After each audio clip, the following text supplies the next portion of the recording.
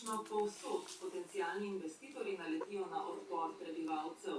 V zadnjih mesecih se vse bolj razplamteva pokorski upor proti načrtovani gradnji 56 vetrnih elektrarn na Rogli, Areku in Treh kraljih.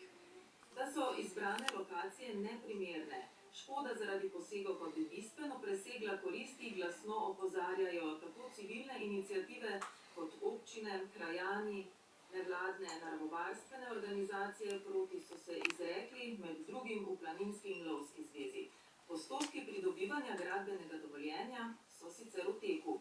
Kako daleč so, kakšna so pravila in merila umeščanja vetrnic v prostor, kaj spreminja in olajšuje avgusta sprejeti zakon in na katera območja bomo v Sloveniji prednostno umeščali vetrne elektrarne. O tem bomo govorili v tej uri. Nami so Sandi Rutar, vodja sektorja za dovoljenja na Ministrstvu za naravne vire in prostor, doktor Tomislav Tkalec, vodja sektorja za obnovljive vire energije na Direktoratu za energijo Ministrstva za okolje, podnebje in energijo, doktor Ivan Žagar, župan občine Slovenska Bistrica in Jana Habjan, predstavnica podjetja Energija na veter. Lepo pozdravljeni. Lep pozdrav. Pred mikrofonom sem Vesna Martinec. Začnimo z najaktualnejšim v povezavi z vlogo za gradbeno dovoljenje za prvih 35 vetrnih elektrarn na Areku in Treh krajih. Upravni postopek izdaje gradbenega dovoljenja vodite na Ministrstvu za naravne vire in prostor.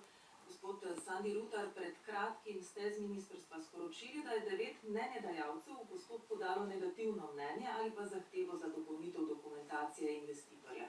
Kaj to pomeni, kaj sledi zdaj? Eh, Res je, devet eh, mnenjedajalcev, ki so bili zaprošeni za eh, podajo ustreznega mnenja glede ustreznosti projektne dokumentacije s predpisi iz njihove pristojnosti, Ministrstvo za okolje, podnebje in energijo, Direkcija za vode, Zavod za varstvo narave, Zavod za gozdove, Zavod za varstvo kulturne dediščine Slovenije, pa Občina Slovenska Bistrica, Občina Ruše, Komunala Slovenska Bistrica, da jih kar navedem, oziroma in še Ministrstvo za so podali negativna mnenja oziroma mnenja s pridržki.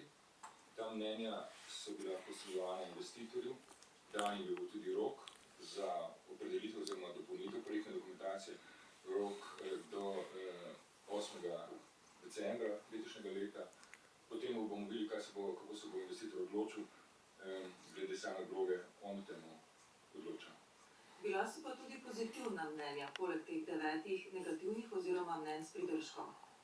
Da, da, seveda, mnenjedajalcev v te- temu postopku, eh, ko posega eh, eh, zelo veliko območje je seveda pri vetrnicah, ne, tako da je bilo kar nekaj tudi pozitivnih mnenj, seveda, Zavod za varstvo kulturne dediščine, Agencija za civilno letalstvo, če samo na hitro nekaj naštejem, niso imeli nobenih zadržkov k umestitvam.